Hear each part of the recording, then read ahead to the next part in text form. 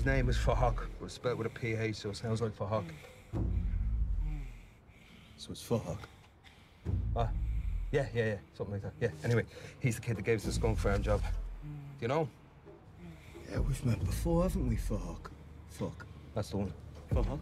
Fahak. Fahak. Right. Don't do anything stupid now, son, right? How did you know the location? Any mein hater. Yeah, in a minute.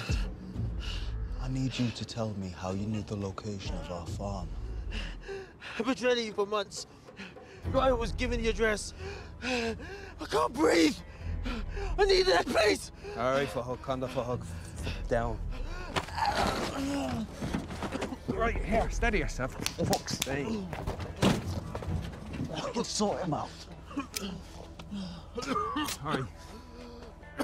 Here, here, look me. You all right? Where's your inhaler? Right, here, take a blem. Now, good boy. There you go, son. You all right? Fuck!